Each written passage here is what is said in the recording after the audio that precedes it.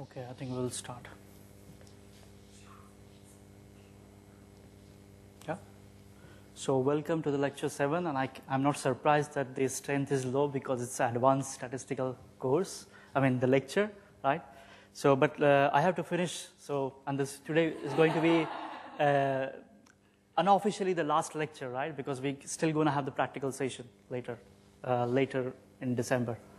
So, yeah, sometime. So today we will discuss about the data clustering and the Kruskal-Wallis we have already discussed during the ANOVA, right? So I'm not going to discuss that. And we will talk about the principal component analysis and the survival modeling, right? The survival analysis. And we will, if time permits, we will talk about the machine learning and the big data uh, terminology, right? In a, in a very brief sense. So uh, before that, I would like to discuss uh, this curve and this is not important for you guys because none of us are doing a randomized controlled trial, right? But this curve has changed the world and has changed the medicine, right? And this is not my uh, wordings, but it is from the, from the Stanford and many people, right? And that, is that, uh, that curve is called as a Kaplan-Meier curve, right?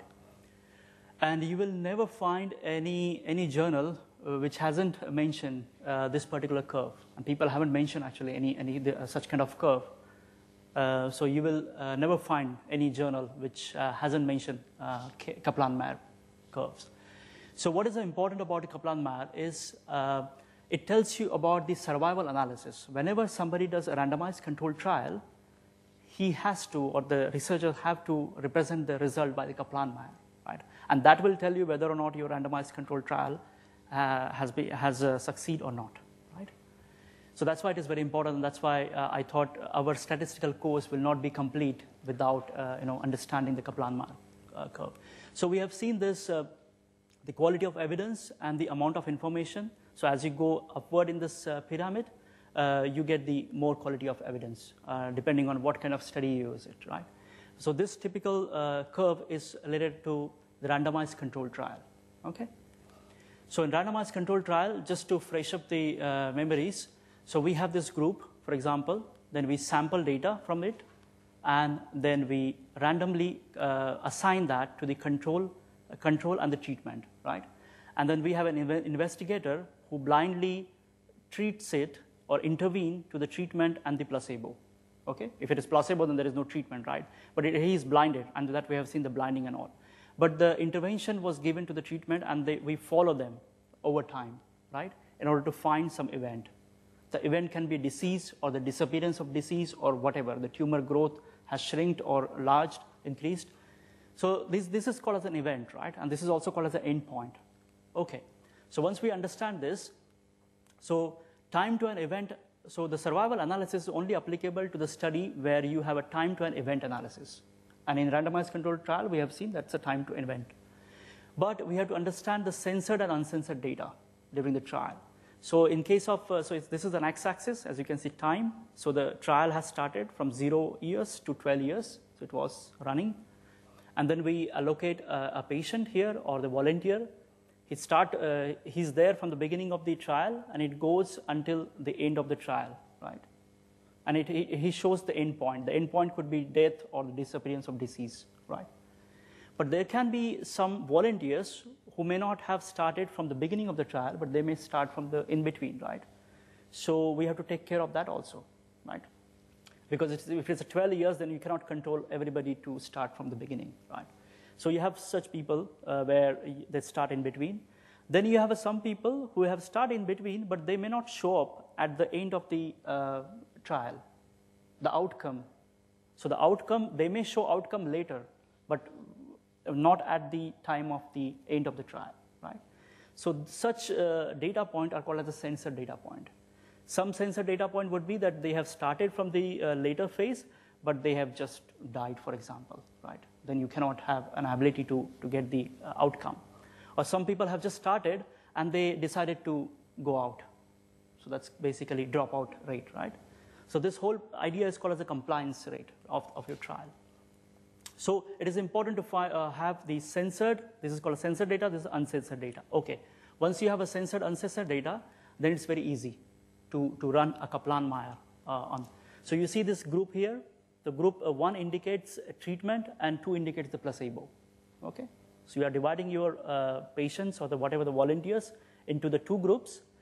Time indicates the time to an event. So every every patient or every volunteer will have a time units, and that time unit indicates how many time units he has gone through until he reached to the end point.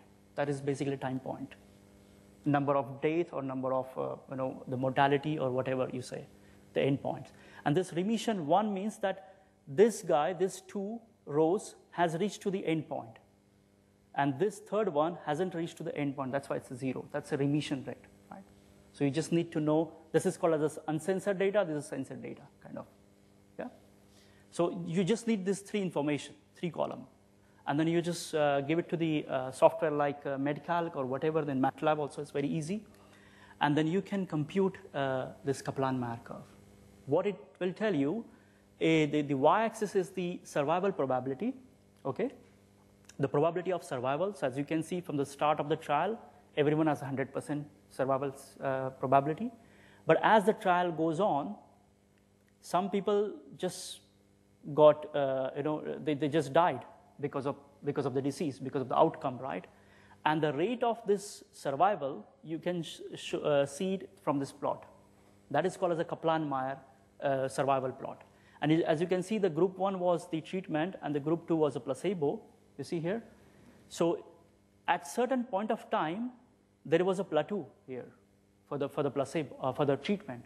Then you can see that uh, there, there is certainly an advantage of having a treatment over the placebo because the survival rate hasn't gone that down as compared to the, the placebo, right? So this is the this is what uh, the, everybody's uh, uh, whenever you do a clinical trials, this is what you want to see at the end of the trial, right? And this is why this curve is so important for all pharmaceutical industries and those who are doing the epidemiology and the statistics. Uh, but then how, how can I say that these two plots are statistically different, right? And for that, there is something called as a log rank test. And the software will calculate for that. And as long as the p-value is significant, we can say that the treatment survival uh, probability over time for the treatment is statistically different than having no medicine or no treatment. Then you can claim that it is statistically different. There is something called as a hazard ratio, okay? Because if you read uh, literature, you might see this hazard ratio, uh, even if they are not uh, mentioning about the controlled trials. But what is hazard ratio? Hazard ratio is nothing but the probability of the relative risk of one group versus another group. So here you can see the group 2, which is the placebo. So you can see that the, the probability of having risk of having this event is four times more as compared to the treatment, right? So let's say if the mortality rate, if, if you, the endpoint is mortality, then the mortality is four times more in placebo as compared to the treatment. That one we can say, right? uh, and which is the reverse in, in case of uh, the uh, hazard ratio for group 1. And as long as the confidence interval does not include 1, you can confidently say that this treatment, if somebody repeat this experiment again or repeat this trial somewhere else, it is very unlikely to find uh, anything more than 1 because the confidence interval does not include 1, right? So treatment is always better than the placebo in these clinical trials. So this is how you interpret the result from the Kaplan-Meier, right? Okay.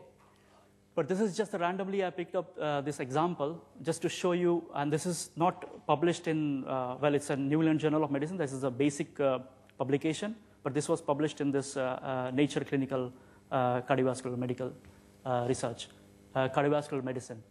So here the aldactone is the name of the medicine in market, and that's a spironolactone. That's basically a, a, treatment, that's a chemical, right?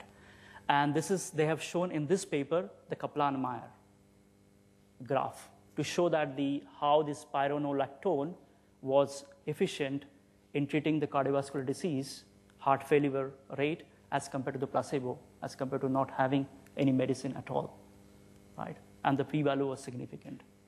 So you will never find any medicine or any, any medicine that you're taking who have not gone through the Kaplan-Meier curves. That's why it is very important, right? Uh, there is something called as a Cox regression, okay? that is also related to the survival analysis. So whenever you have a time to an event data, one can regress. We have seen logistic regression, right? And we have seen how one can correlate many different parameters to one event. And that event can be yes or no, or it can be continuous. We have seen that in logistic regression and in the linear discriminant analysis, right? So, and linear modeling. But in case of the Cox regression, how it is different, uh, it is also called as a proportional hazard regression. So we will come back to the proportional later. But the Cox regression, how it is different than any other regression that we have learned is it is very specialized for the time to an event output. So we cannot apply logistic regression or any other regression on the time to an event. And the time to an event is basically, so the Cox regression allows analyzing the effect of this several risk factors on the survival. Yeah? So, so the, uh, this is my time to an event. Let's say the mortality rate, or for example, recurrence of the disease or the, or the death, for example. I can model that based on the risk factors. Yeah, because my output is the time to an event, and this is my risk factors. So I can actually know what is the risk of dying because of the cardiovascular disease if the input predictors like the alcohol consumption, weight, BMR, whatever, right? So you can basically model the Cox regression on that. Uh, and this is where you use the Cox regression, right? So the difference between the Kaplan-Meier and Cox regression is that the Kaplan-Meier methods use a log rank test in order to compare between the two curves survival, while in case of the Cox regression, you only allows analyzing the several effect factors on the survival, right? So it's a regression model, but the Kaplan-Meier is when you want to compare between the two survival time to an event data set. The Kaplan-Meier survival analysis can run only on the categorical predictor, while the Cox regression can work on both categorical and continuous because it's a regression, right? And the Kaplan-Meier is a non-parametric procedure where the Cox regression is a semi-parametric uh, method procedure. So whenever you have a time to an event data, I can't say that a, you, you will never have time to an event data if you're not doing a randomized control trial. But let's say you're tracking a cell, for example. You can apply Kaplan-Meier. I, I don't know if that is a good idea, but this is not limited to the randomized control trial. Whenever you have a time to an event, let's say you, you, you tracked a lineage of the cell, start from the one time point, and you have collected such events in a one data set, and you want to compare such event with respect to another data set or another group, for example, you can use Kaplan-Meier, right? So it's a good idea actually to, uh, to have this project because I just, that idea just came into my mind. I had never seen any kind of Kaplan-Meier applying on the cell tracking, okay? But we can use it. So then we can, uh, let's go for this machine learning, okay? Let's understand what is machine learning. Well, machine learning is not, not a topic which can be covered in 15 minutes or 10 minutes. Well, machine learning is, is a, these days a big topic, right? Um, and machine learning is a abbreviation, I would say, or it is basically a common terminology, or you can say it's a discipline of a computer science which deals with artificial intelligence, uh, computational learning, pattern recognition, predictive analytics, or the statistical learning theory. So it is just all the synonyms, right? They are all come in a one package. That's a computer science. And why machine learning is important in this lecture is because machine learning cannot work without statistics. So the statistical learning theory was evolved over the period of time, and now they, people call that as a machine learning. But actually, it's a statistics. Yeah? So machine learning is a subfield of the computer science that gives the computers the ability to learn without being explicitly programmed. And this is what the Arthur Samuel says in 1959. And now we started realizing the, the implications of machine learning in day-to-day life, right? So what does it mean that gives computers the ability to learn without being explicitly programmed is like that. So I have this example, which we have been using uh, across our lecture series. And then I want to define them. So, I, I, so my task is basically to find and characterize the human, animal, and the plates. Okay, this is the object recognition task. What people have been doing so far, up until 1980s or 60s or whatever, they, they used to write a program, right? That if the average height of the object is more than 200 pixels, then it's a human, less than 20 pixels, animal, shape is square, then it's a 96 well plate, right? And then you used to get, and it's not like completely bad idea. You used to get a nice result, but that wasn't that fancy. That wasn't innovative. Because the moment you change the illumination of this plate or illumination of this uh, image, this program, hard-coded characteristics will not work for that particular. This is called as the hard uh, programming, right? But what is machine learning? The machine learning is you extract features, and you features, you extract such feature which is uh, insensitive to the variations of the intensity, illumination, or whatever the you know, focus or defocus things. And then you build a machine learning algorithm on that. And that would detect uh, human, animals, and plates more accurately as compared to the previous one. So this is what the machine learning is about, actually. Yeah? Okay, let's see the more example. So my, uh, in machine learning, especially for the supervised machine learning, there is a terminology called as a training data. So you have to train your machine, you have to feed your machine with some training levels. And now my task here is that the humans and animal, I want to, uh, I want to build a machine which would be able to detect the human versus the animal, right? And there I have collected the samples from the humans and the animals, and then I, I build a machine learning algorithm, right? That the output of machine learning algorithm will be a model. And that model will have all the knowledge from this training data. So in future, if I get an image, then that image will be detected as a human, right? And the reason I just put is he's a superhuman, right? I, I like him. So, okay. But this is, and this phase is called as a training phase and this is called as a test phase. Okay? And this is a part of supervised machine learning. We're going to see that now. So if you see machine learning algorithm, they have been broadly classified into supervised learning, unsupervised learning, and also the reinforcement learning. This is a terminology people have been using in past 10 years. It wasn't there actually. In fact, it wasn't there when I was doing my PhD in computer science. Not that much. So we have been told only supervised and unsupervised. So supervised learning, artificial neural network, Bayesian statistics, random forest, linear discriminant analysis, nearest neighbor classifier, support vector machine, logistic regression. We have seen this in this class, right? So we have seen supervised machine learning. These are just the technique in the supervised machine learning algorithm. Then in case of unsupervised, the clustering, self-organizing map, model-based vector quantization. But what does it mean supervised? Supervised, we just seen an example. Whenever there is a training and test, that's called as a supervised. You are supervising your machine based on some known samples. That's called as a supervised machine. In case of unsupervised, you don't train. You just give data to the machine, and machine task is to find some pattern from the data. That's called as unsupervised machine learning. Okay? A reinforcement learning is basically this video is enough to tell you. And you must have heard about deep learning, right? So deep learning is just the subset of the reinforcement learning. And if you see this video, so this, this cute girl, she, she's trying to ride a bicycle, right? She's trying to learn how to ride a bicycle, right? And her mom is teaching her. So that's basically training, right? But it's not only the training what gave her confidence next time to ride a bicycle, but it's also the self-learning. She's also learning by herself. So what she is doing, so whenever she falls, she try to register what mistake, mistake she had done in past, and next time she will not repeat. So that's basically the, the intelligent way of feedback mechanism, right? And this is the whole essence of deep learning and the reinforcement learning. And uh, eventually she will, she will ride smoothly without her mom's help and without even falling down. That's basically how uh, the deep learning works, right?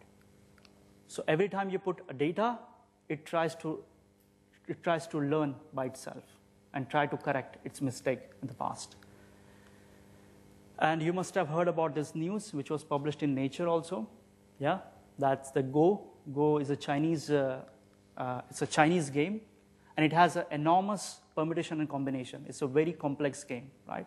It is beyond the human interventions. I mean, that's basically a, a, a one human cannot understand all the moves, like a chase, for example. It, it has an enormous permutation combination.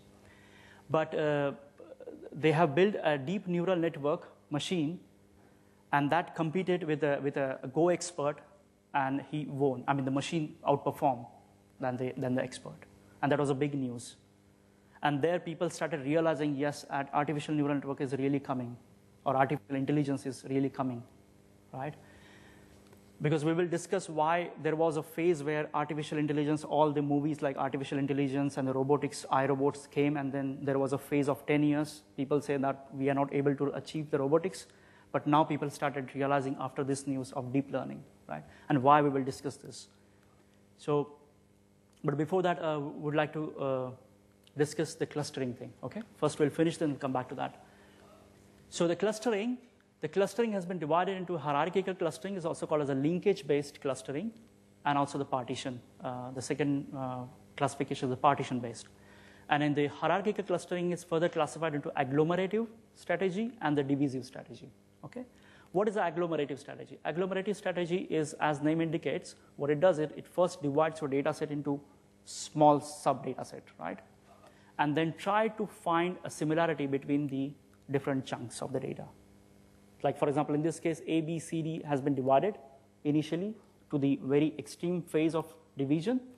And then with some similarity of the adjacency, right, you try to collect and make as a, make as a cluster. And you ultimately boils down to the one object. That's basically main cluster. That's the agglomerative approach, right? So from many to one, that's the agglomerative approach. And the divisive is like a reverse of that, from one to many, right? You go and then find a cluster like this. But this is not that innovative, right? I mean, I hardly, I hardly use this strategy in my whole uh, career. What is interesting is the second part, the partition. And there is uh, two uh, subcategories called as exclusive strategy and the probabilistic strategy in the partitioning clustering, right? In exclusive strategy, we have a minimum spanning tree algorithm. We have a k-means, you must have heard, and then k-medoid, right? And then the probabilistic, this is a bit um, up-to-date field in the clustering as far as clustering is concerned. It's called as a, uh, the Gaussian mixture modeling. The fuzzy C-means, Gustav and Kessel, Gath-Geva. We're going to see that. What does that mean and what is the implication of this algorithm on the data set? Okay? So these are the what we're going to see. So let's see what is the k-means clustering.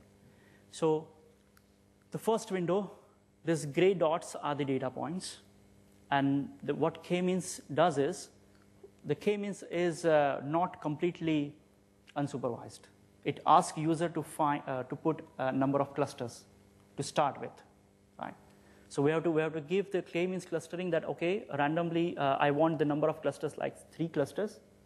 So what k-means does, k-means randomly put the cluster points anywhere, randomly, on the data set, okay? And this is the beauty of the, cluster, uh, the, the algorithm will start.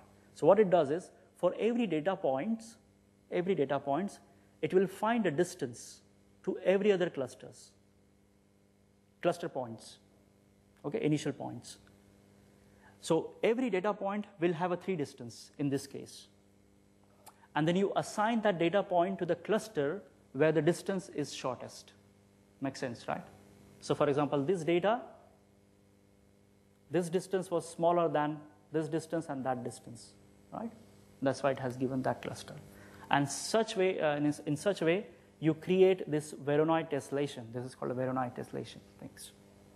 But this is just a one iteration of the algorithm. Then what you do is go to the next phase. In next state, you forget about this point, the, the uh, initial cluster point. You try to generate the new cluster point based on the group that already been established. So what you compute, you compute the mean value of all these samples from here then that would be a new uh, initial point. Likewise.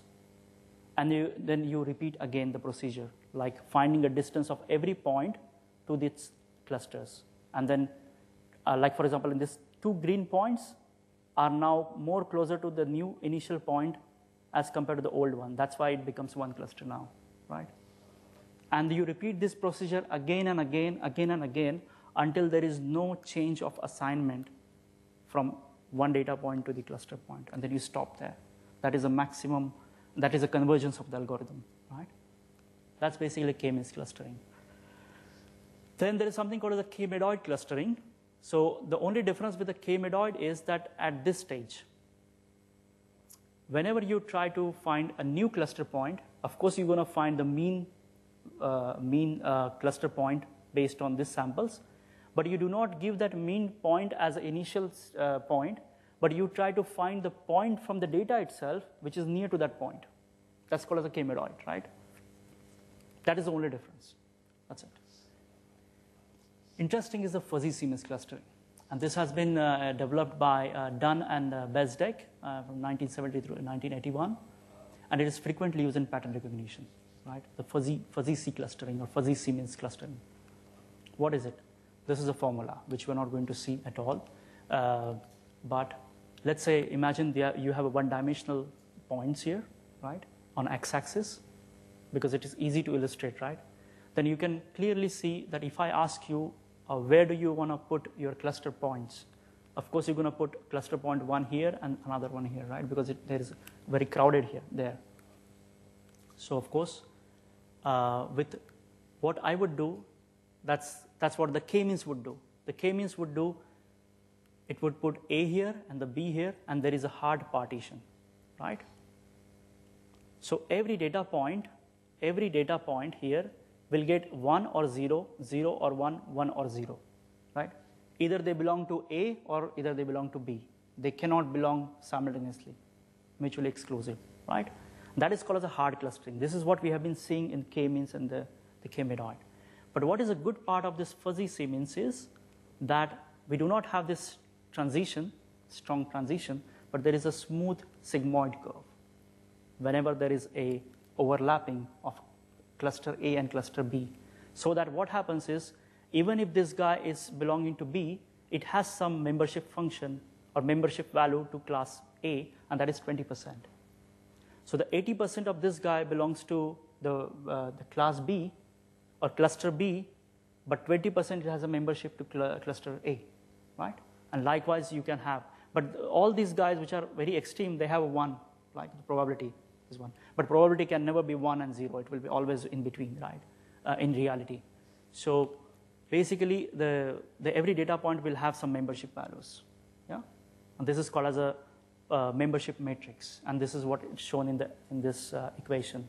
And this x is nothing but the individual data points, and the c is nothing but the centers. That's it. And likewise, you can have a probability map, right? Now, for example, I can go for the three cluster now. And the three clusters are not like these three up and down things, but three clusters are very smooth. They are overlapping regions, and that may have some membership values there. That's basically the fuzzy C-means clustering. Okay, then let's see some advanced uh, fuzzy clustering algorithm. That's called as a Gustafson-Kessel and Gath-Geva. So and Kessel clustering algorithm extend the fuzzy C-means It's basically based on fuzzy C-means, but then uh, it employs the adaptive distance norm. I don't want to go into detail because that's I'm not able to give you an, uh, a, a, possible explanation about this one to, with your comprehension because it's, it's a bit lot of mathematical things, right? It's just that it uses the instead of Euclidean distance, it tries to adapt itself based on the data, right? So That's basically very, uh, I would say, more intelligent way of doing fuzzy C-means. That's the Gustafson-Kessel. Well, uh, and also it is important that it also look for the different geometrical shape. It is not only the, the clustering, but also look for the geometrical, which we're gonna, we're gonna see the example, right? Then the second one is the Gath-Geva clustering, which uses the distance norm based on the fuzzy maximum likelihood estimate. Again, this is something beyond uh, the, uh, the scope of this class. Uh, because it, it, it, depends on the maximum likelihood estimation, but it's also the fuzzy maximum likelihood estimation, right? But again, it is more fancy, you can say, more advanced. And if you want to uh, uh explore more, there, there's a toolbox called as a fuzzy clustering and data analysis toolbox in MATLAB. Yes? Yeah, um, yes.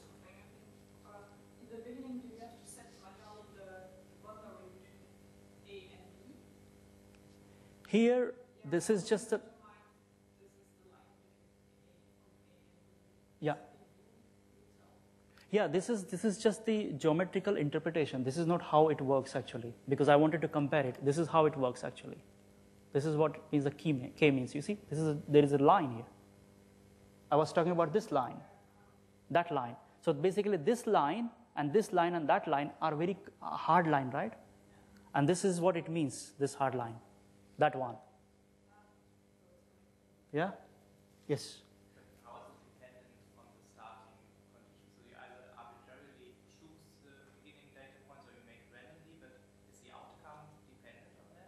Yes, you're right that the outcome of all the clustering uh, algorithms based on how you initialize your starting points.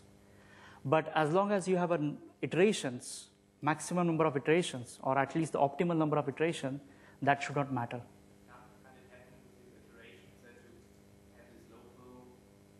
Minima, maxima, exactly. We, we, I'm going to talk about that because this is a very important point, and whenever I see in the lectures, they only talk about the k-means and k, uh, k-medoid, right? But I have a slide which will tell you how to choose optimal cluster before, right? And then that time I will tell you how to decide which cluster point and what uh, clustering algorithm is important for your data set. Yeah? Yes, exactly. So, so let's go for the example. I think that's more intuitive. So the clustering example, I have this example, and it's just a two dimension, y and x, and then I start initialization with k equal to 4. This is the output of k-means. So it has taken this as a one class, another class.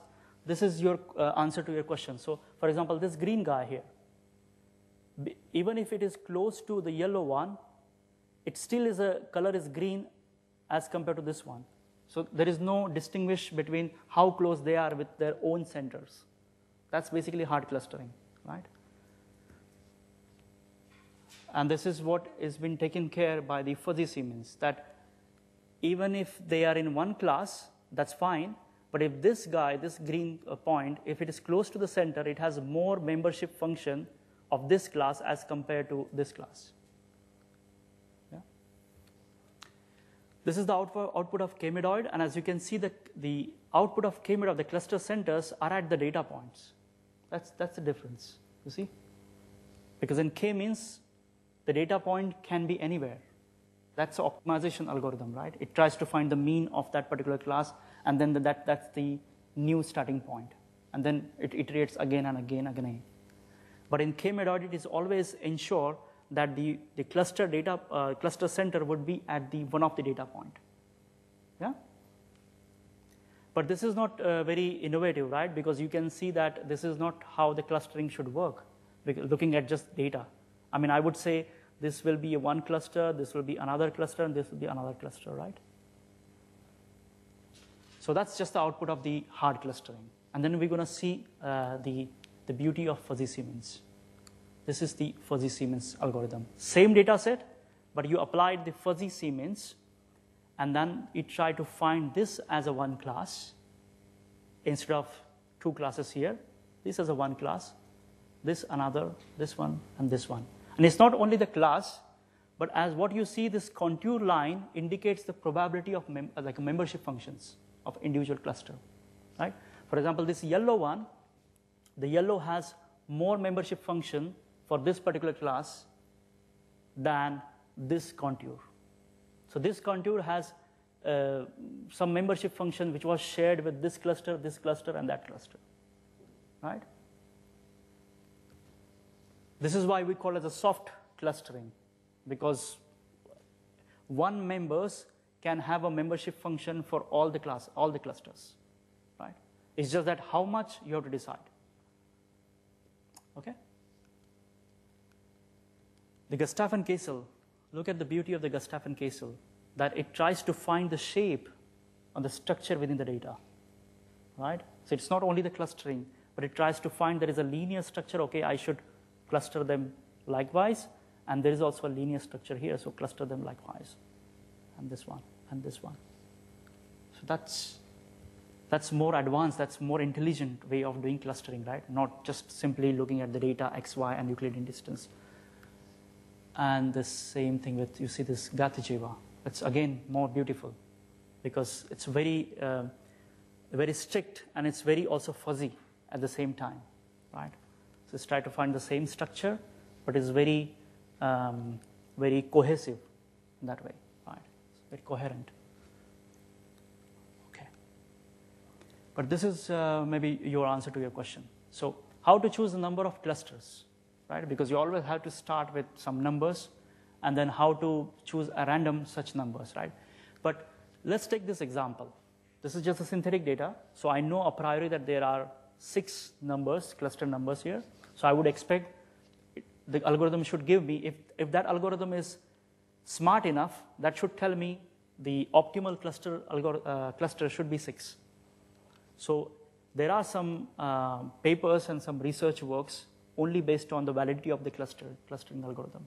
And that's called as the Xie-Beni index, Dunn index, and partition index, the classification entropy, and all. There are, there are so many features actually by which you can evaluate the uh, efficiency of your clustering algorithms.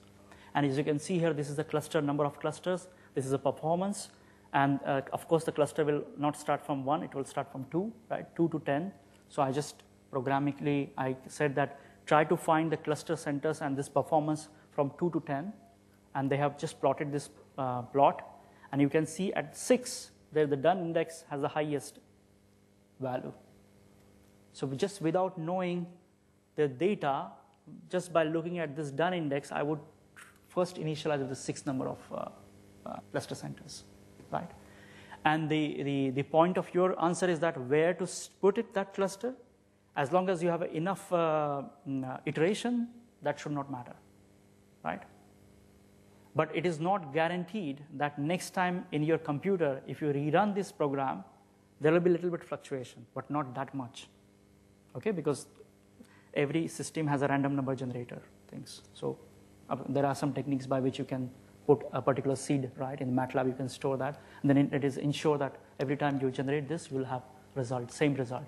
But this is how you should uh, optimize the cluster number. Okay? Yeah. Yeah. Yeah, this is just an alternative. And here you can see, you see, that the Xie and Beni is increasing. So from 6, there is a plateau, there is a constant, and then it starts going down. But you have to see the scale at which it varies. Okay? So it is not a very definitive approach. It is not a very definitive approach. And I'm going to come to a slide where you can have a 4 and 6, and what is the difference between 4 and 6. But you, Dunn, uh, people have been using Dunn index, but again, it depends on the data. What kind of data you have, because that's that's uh, the people say it's a curse of dimensionality, but I would say curse of the type of data, because machine learning is still a data-driven process. So you cannot just put the same algorithm on a different data set and you will not expect the good result because it has to tune their parameter based on the data, right? So that's why. But uh, you can try different approaches, different validation indexes, and then get get some rough sense how much should be or how many clusters should should I initiate with, right? Let's take this example. That's from the Claudia Lukas group. So I have a genes. So 36 genes are there on the 96 well plate, and the three features have, have been extracted. Yeah, uh, one of them is uh, 53BP1, the um, H2AX, and uh, the EDU. And I think you know better than me that 53BP1, H2AX, these are the just mitotic uh, DNA damage, right? That's a marker for that. And the EDU is a DNA replication marker, right? And so whole idea is that can I categorize the genes based on these three features? Right? That, that was a goal, basically. So one can do this uh, simple thing. One can plot one feature by every other feature in 2D plot. But that is not possible, right? Because you can clusterize this guy here on this dimension, but that would completely change in the another dimension. So is there any way that I can see at instant or at the same time all the three dimension and try to divide the data into high dimension? That's basically the goal. And there we have to discuss about the principal component analysis, right? So what does it do? So just for example, x-axis and y-axis, you have these data points. Let's say it's a weight and this is a height, for example, and this is the individual data point. And we have seen in a correlation that I can say it's a linearly correlated, right? What PCA does, PCA does, does some mathematical um, analysis or formulation which transform a correlated variables into a smaller number of uncorrelated variables. So it tries to find in which direction there is a variance, there is a, there is a variation in which direction. That direction we consider principal component. So it only cares about the where there is a variance, which dimension there is a variance. And you can see the output of the PCA that this is a PCA, principal first principal component, second principal component. And then you see if you just know only the principal, first principal component, you see the variability here. You see there is a variability. And in the principal component 2, there is no variability as such. So what you can do that so what, what was the whole point here? The point here is that if you just look at the PC1, you would be able to carry all the variation in the data. And you can completely ignore the principal component too. And this is the whole logic of data compression.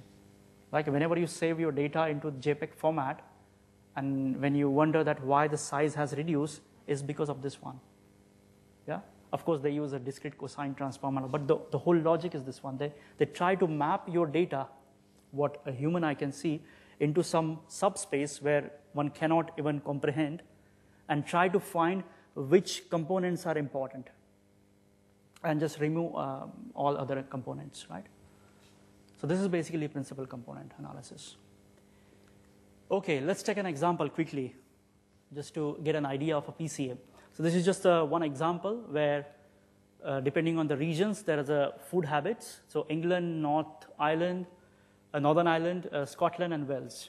Yeah, and these are the different eating habits in that populations or that region. So the question is, can I uh, can I um, differentiate one region as compared to others? One cannot because if this had been only two uh, features, I would have plotted actually an x and y and I got to know that, okay, this is the region, right?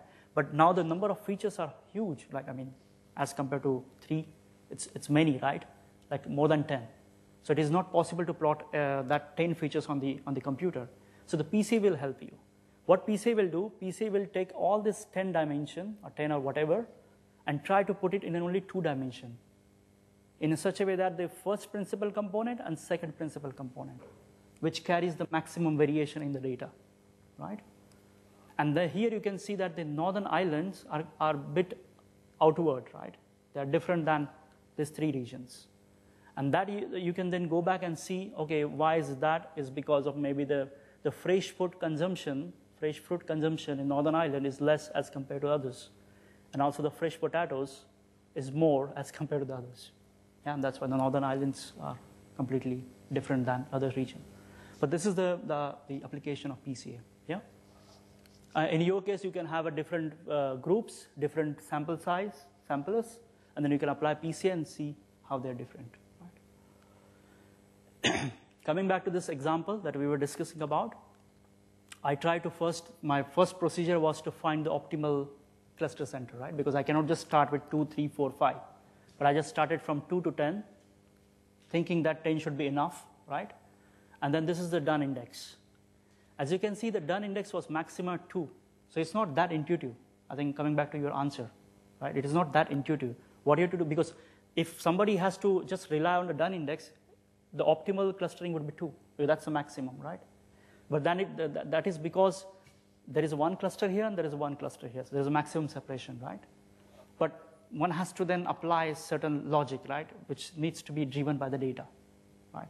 That you expect, let's say, roughly four or five. And then you can see here that, okay, with, uh, if, if, it, if it goes, goes to 4, then the reduction in the Dunn index is not that much. It's little, right? Then it, you can afford to have 4 clusters until the sixth one. So you can afford to have a 6 number of clusters if you want to have variability and you want to show or divide your genotype into 6 different groups. But of course, you cannot go to the 7 and 8 and all this thing. But again, it depends on how much accuracy and the compromise you want to do. But uh, this is the result using the Gath-Geva clustering. And you see these are the four clusters. This is the result using the six clusters. Okay? And this is the PCA projection. It's not the real data because real data we have seen the dimension was three, right? Now the three dimension has been reduced to two, and that is the first principle, second principle component. So you can apply fuzzy clustering of the high dimensional data using PCA. I mean, you, cluster, you do clustering using fuzzy clustering, but then you map your data using PCA onto 2D to see the visualization. Yeah?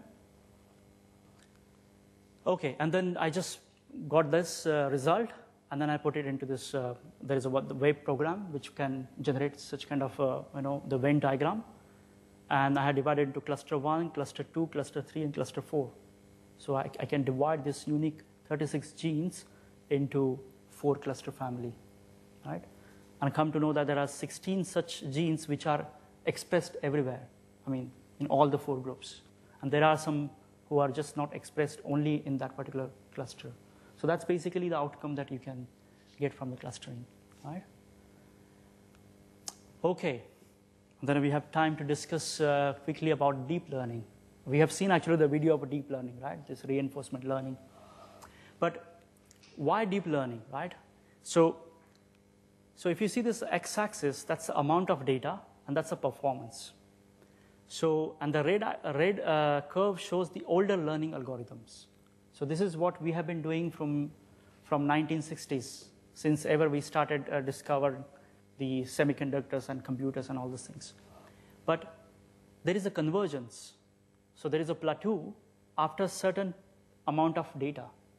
So algorithm stops working on the huge amount of data. And this phase has come after this, uh, all this uh, IT, internet, right? Because everybody started uh, generating data. And that was a problem for the older algorithms, and this is where it stops. And this is where um, you know people have saying that the robotics and the artificial intelligence these are just the dreams, right? It is not going to happen ever. But until the, the deep learning has come, the reinforcement learning. And the good part of de- deep learning, reinforcement learning, is that it, it varies as the data varies. So the data is not a big deal for the, for the, learn, for the deep learning, right? Performance increases as the amount of data increases. So it's a linear relationship. That's the beauty of deep learning, right? Okay, uh, and it keeps getting better as you feed them more data. So it's also the because it's a reinforcement learning, right? And in just uh, one slide, uh, we'll come to know what is deep learning. So this is a traditional pattern recognition. So let's say if I have a, this image of a car, feature extractor, I would extract, uh, people used to extract features like intensity, colors, uh, brightness, and things like that, very nominal features, right? And then he used to train a classifier, and then the classifier was efficient enough to detect the cars. Then the people came to uh, to idea of the mid-level features, right? Then uh, for extracting features, you will also extract the mid-level features, like the regions and ages and things like that. With the deep learning, what it does is you can have, you can learn features in many different layers. That's why it is called as a deep learning, right? So for example, you can have a low-level features, for example, the spot-like structures, spot-like, spot-like features on an image. Then you combine that spot-like features to become age-like structures, right? They combine age-like structures becomes surfaces and shape. You combine shape becomes surface. You combine surface becomes a particular object. Likewise, so there is a different hierarchy on the level of the features. And this is the beauty of deep learning, right? So, uh, this is all about deep learning, yes. Then I want to talk uh, about the big data. Yeah. So, big data, uh, how, how many of you have heard of big data? Yeah? Okay. Yes, two. That's good. Okay, but big data you're going to hear more and more. And actually, indirectly, you, you are using big data and, and deep learning in the background. So, whenever you search in Google about what is the temperature, what is the, the next uh, bus coming for a particular location, that is basically deep learning, right? Or what is the traffic for this particular route today, right? It is because the input by many sensors in real time, right? given to the Google headquarters, and Google have reinforced their map for a Copenhagen in particular city for particular area. That's basically reinforcement learning by many users. And that's why you see a very good response. And also the quick time, right? Time is also important. Accurate and the quick. But the big data, there are three characteristics by which the big data is, uh, is virtued. So that is the vol- volume, right? That is the data quantity. So because historically, what happens? What is big data actually? So historically, the, uh, if there is an uh, organization and there is an employee, employee used to generate data, right? And there was some system administrator who used to incorporate the data into his system. And that system was very like, like the what is the age, what is the income, salary, what is the profession, and likewise. It's a very textual data, like structured data. Very nice, fine. But what happens eh, after the advancement of the internet, people started generating data by themselves. Like, for example, WhatsApp, Facebook, Google, um, YouTube. These are the data videos generated by the users. And imagine it's not only the users, but now in the advancement of the, the mechanics, the robotics, the machine have started generating the data. In astronomy, like satellites, and then microscopy, the microscopy is generating like tons of data, right? We, we deal with that every day, right? So that is the huge data. And the, the, the, the people started facing the problem how to deal with that data. And that is the whole issue of the big data, right? That you only talk about the terabytes, forget about gigabyte. You start with the terabytes. That's a big data thing. But, uh, but so that's basically the volume, right? But it's not only the volume, it is also the velocity.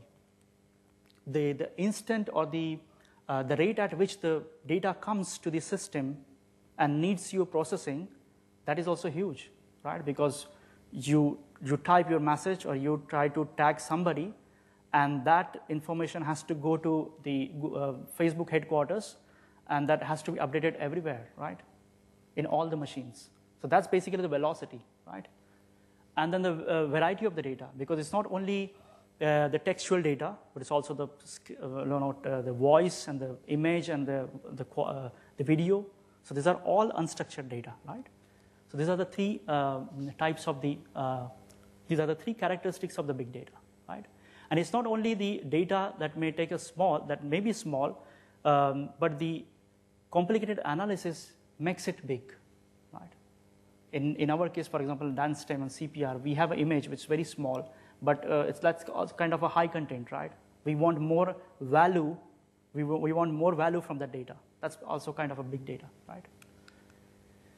Okay, so solution is to in these days is the given by Hadoop. It's a it's open source software, right? And it's an open source platform basically, but it is not as simple as just installing on your computer and then you start uh, doing it. It's very complex, um, and there are people actually working on this particular domain. But uh, there are two uh, uh, uh, characteristics of the Hadoop that is called as a Hadoop distributed file system and the MapReduce. So Hadoop distributed file system is that it enables the big file to store on a several machine, right? Because you must be wondering that how, how can a, a computer handle this big data, right? If the one, big, uh, one file is of the size one terabyte or one zettabyte, how can a computer handle this?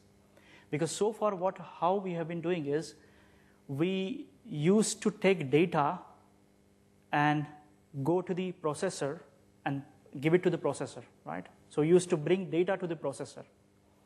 With this big data, which you're going to see in future, the processor comes to the data. And it's not only one processor, many processor. That's what basically cloud computing is, right? So it's a many processor, grid system, clusters, and all this grid system. So the processor used to come to the data, and they, they, what they will do, they will divide this data into small chunks, right? But there has to be some, uh, some monitor, some administrator, which will, which will know how I'm dividing that data.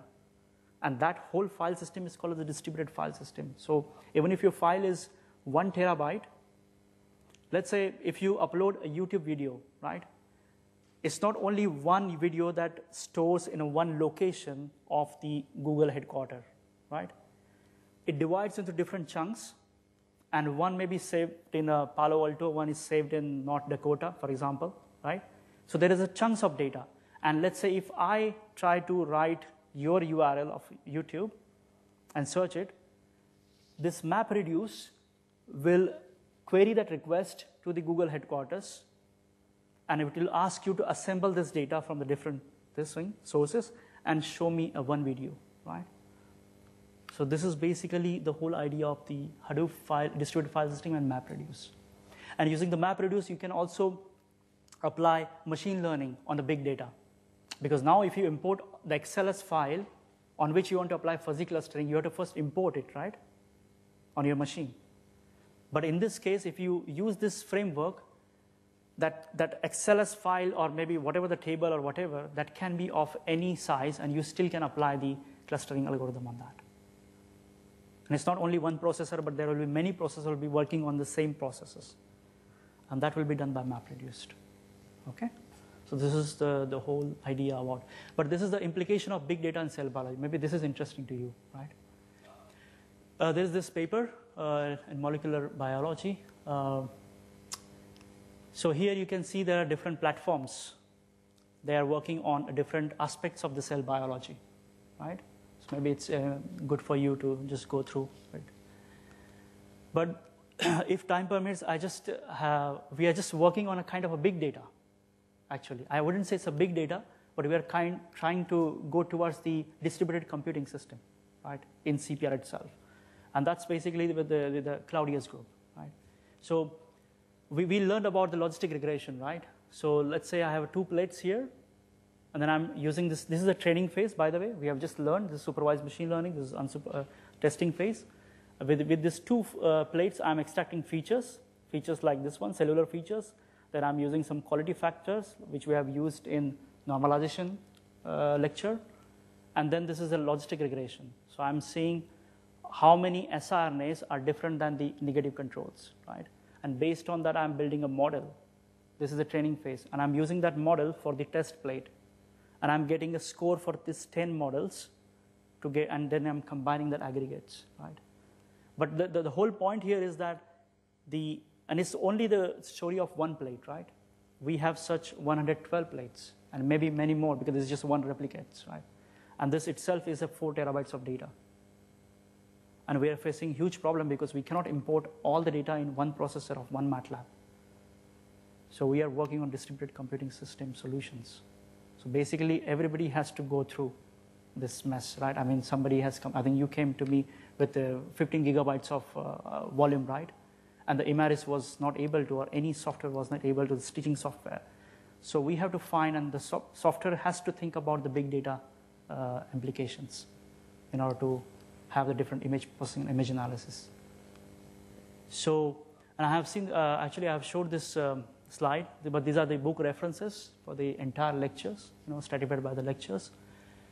So you can go through it, and uh, thank you so much. Yeah, finally. And I hope you do not have questions. But uh, I would like to say thank you. I may, I may not be able to, I don't know uh, when we're going to organize the practical classes, but thank you so much for you, for your response. I have learned a lot, you know, this, and I have, by the way, I'm recording this lecture, so it's going to be there. So it's just that you have to understand a little bit Indian accent, right? So I hope that should be okay for you. But thank you so much. Thank you.